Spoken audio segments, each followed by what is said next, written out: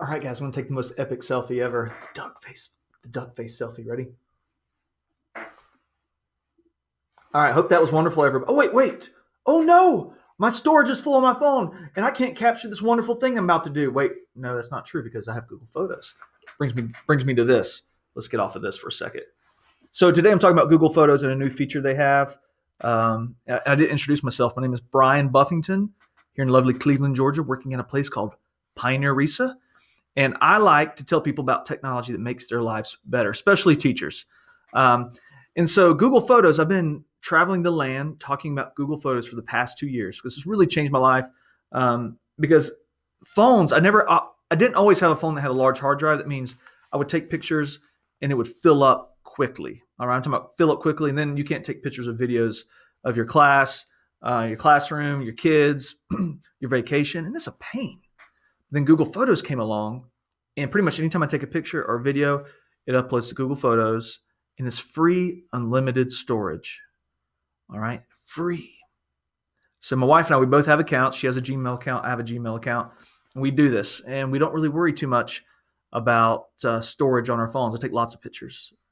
Um, and when I say free, by the way, everybody understands because I'm just very upfront about this. When Facebook says you have a free account, Instagram says you have a free account, anybody says you have a free account, what you're really doing is you're trading information. You're giving some information about yourself in exchange for this uh, for this service. And I'm sure the same way that Google is using my photos. I don't think they're using it on billboards, but they I'm sure they are mining it for something. And that's just a sacrifice that I'm willing willing to make. My family's willing to make.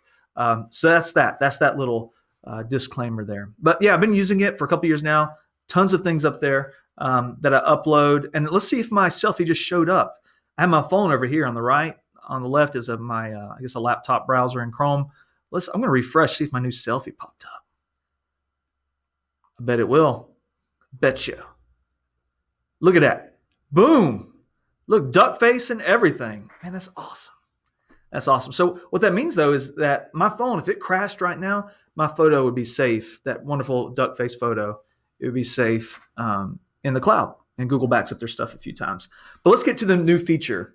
All right, that's enough of the sales the sales uh, pitch about Google Photos. I mean, it's not really a sales pitch. I don't make money from that.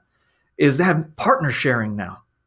Now, partner sharing is not partner swapping. That's, that's something totally different. We're not talking about that.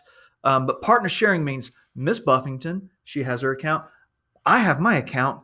And now we can go anytime we take a picture on either either our phones, we now have combined accounts to become one. It's kind of like that Spice Girls song, that classic, classic Spice Girls song. So our two accounts are now one. And so when she takes pictures, they come in my Google Photos feed. When I take pictures, it goes in hers. So that's wonderful. When we're out doing vacation, we're doing life, and I say, "Oh, I need a picture of my my daughter. I need a picture of my son." I can go into Google Photos, and there they are. It's awesome. Unlimited storage, backup. Um, so, and, and don't forget too. This is kind of off off topic here, but not only does it back up your phone, you can actually upload hard drives worth of photos. So if you were some of you already been taking digital photos for ten years, you've got maybe a terabyte of pictures. Go ahead and upload those too. All right, and it organizes them by face, which I really really like. So I want to show you the setting. Um, you can do it from your phone, but I'm kind of I'm kind of old, so I like to uh, so the Photos app right here. See the Google Photos app? There it is. There's me and my little duck faces. And as you can see, um, I took them on my phone, but they automatically uploaded to um, my Google Photos account in the cloud, and they're on my laptop now. It's this is all happening very fast, very fast. Okay. But here's the setting. So if you're logged into Google Photos um, in your browser or on your phone, you can go to your settings and you should see sharing. Um, here's my shared library. It says I have a shared library with Brooke.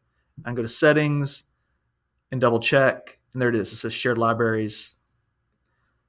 There it goes. And I can choose what she can see. Like I could make a special album or or something and say no only uh, only pictures that go here she can see. But we just I just did everything. All right. We don't hide anything. All right. Buffington household. It's all it's all one. So uh, it was just really cool. It makes total sense. But you know, I, I could always remove I could remove her. You know, if I needed to. But you, just to be upfront again, you have to know that anytime your partner takes a picture, you're going to get it in your Google Photo. So um, if your partner does, you know, likes to fish all the time, you're going to have a lot of fish pictures in your Google Photos account. it's not really big of a deal uh, to me. Um, that you know, my wife has her pictures in there with mine. I can search them. I can still find stuff. It's again, it's not a huge deal, but know that they're going to be mixed in there, intermingled. So it's called partner sharing. It's a new setting. Uh, this happened a few months ago with Google Photos. Hey, dive in, get with your boo, and say, you know what? Let's take this to the next level. Let's share pictures together. I love it. I love you guys. Talk to you later.